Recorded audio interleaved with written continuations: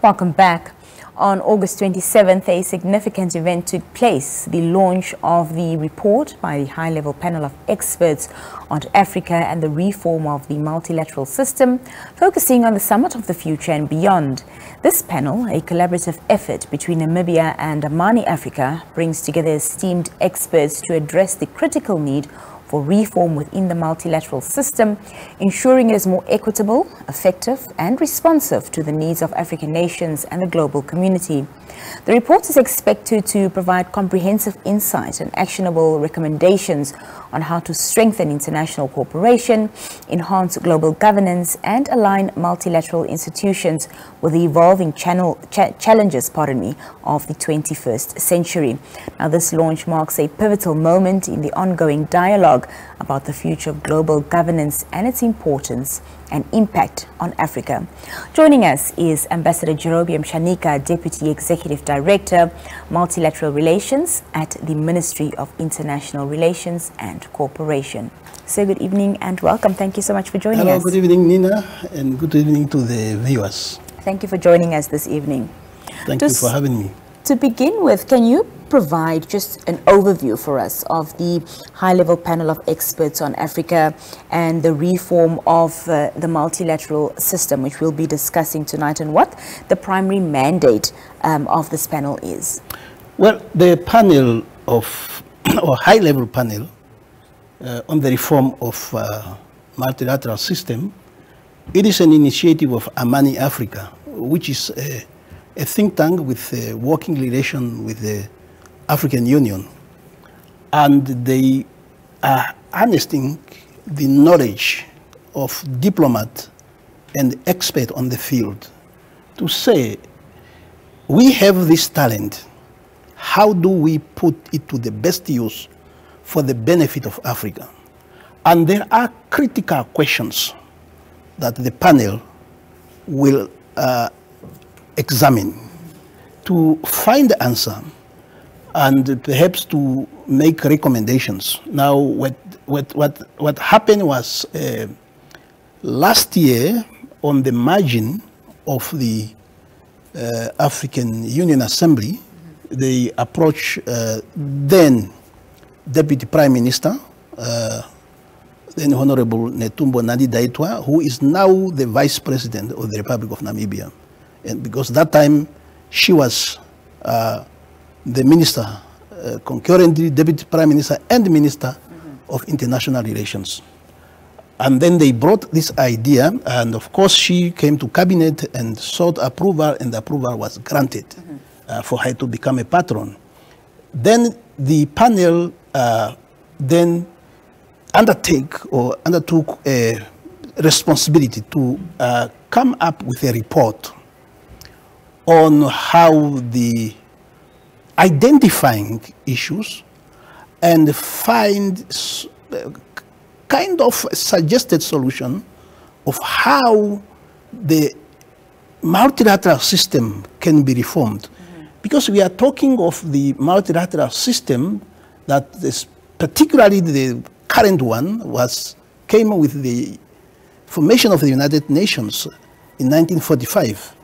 And there has been uh, cosmetic uh, reform, but those reforms they are not adequately or not even uh, speaking to the needs of Africa. So this panel was then uh, having that task to look at the needs and where those needs can be applied to.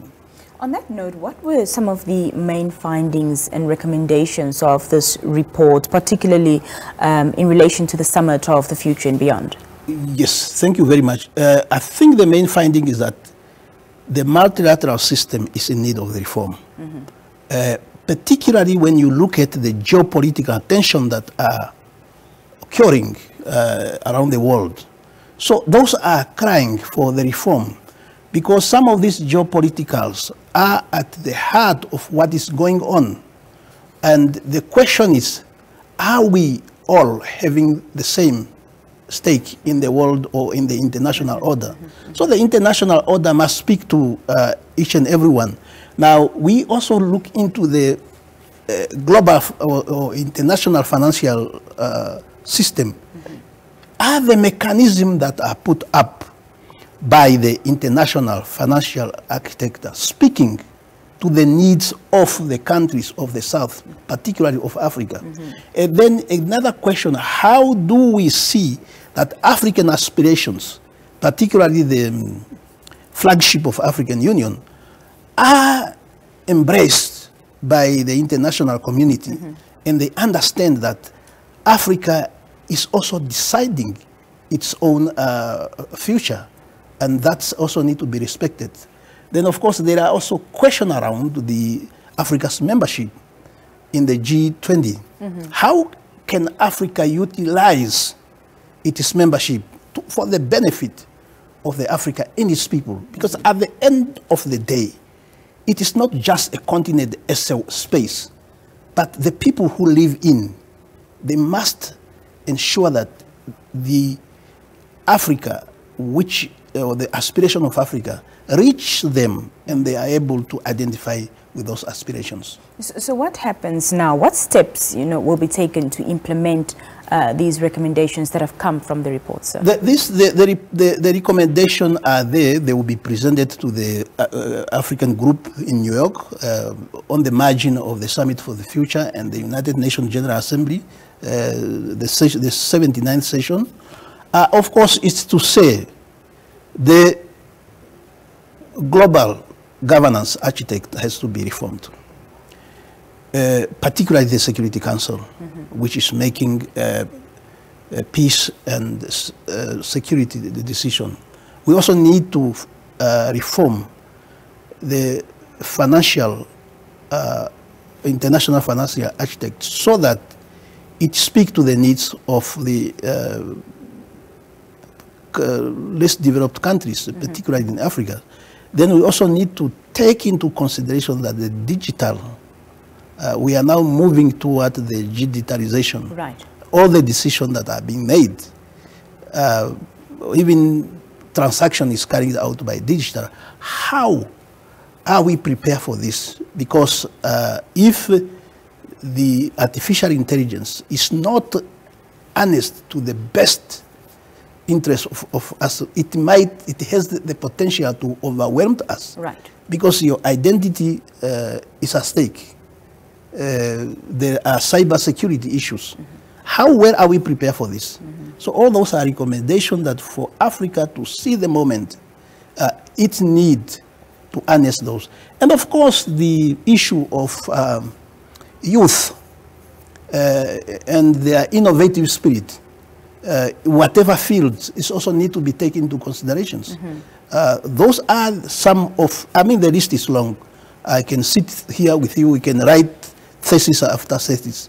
Uh, but of course, those are some of the critical issues that really we need to look at so that the place of Africa uh, will be able to uh, achieve most of, it, of, of, of, its development objective. As you right, know, right. Africa is a continent rich in mineral resources. And it's, yeah, one of the recommendations is also for the uh, value additions. Mm -hmm. Because most of the raw material in Africa is taken out in raw form and returned back as finished product mm -hmm. at more higher price than even the African could mm -hmm. afford. I think these are some of the things we say let us, as we move beyond the summit for the future, what future do we want to see? We are, the leaders are going to, to, to meet in September, and they are coming up with a pact of the future. Mm -hmm. So that pact, it must contain actionable, yeah. actionable uh, uh, uh, plan that or points that the people of the world can seize on and they can identify them. We are talking of the youth. The youth must find uh, their space. Right. And they will be able to uh, identify themselves with the, the pack of the future on the topic that are speaking to, to, to, to, to, to them. And how are we going to move then into that world that is a digital space? Mm -hmm. Are we all prepared? Just lastly, before I let you go, what message perhaps would you like to convey uh, to the global community, particularly to African leaders and as well as stakeholders regarding the importance and the urgency of reforming uh, the multilateral system? No, no, I think the, the, the panel has really, uh, under the leadership of Her Excellency um, uh, Dr. Netumbo Nandi-Ndaitwah, who has graciously agreed to remain a patron uh, I, I, think the message is that uh, there is uh, an Africans who want to uh, utilize their talent for the benefit of the continent, right. and they are not. They are doing this free of charge uh, to see to it that Africa, that our children uh, are hoping to grow on, uh, is an Africa that take care of itself. And I think we should have faith in our, in the skill of uh, the expert, because they can also inspire other experts to come on board and to uh, bring up or to look into solution that will make uh, our continent a great place for each and every, each and every one of us to live in. Ambassador Shaanika, we are eagerly looking forward to the Summit of the Future and beyond when it comes in September. I think we'll have you back for further discussions on that. So. I am at your disposal and I'm, I will be able to give you uh, whatever within my limited knowledge that I can give. Thank you so much for your time this evening. Thank you very much. Thank you for having me and thank you for the, the viewers. When we come back, our conversations here on the Daily Roundup continues. Stay with us.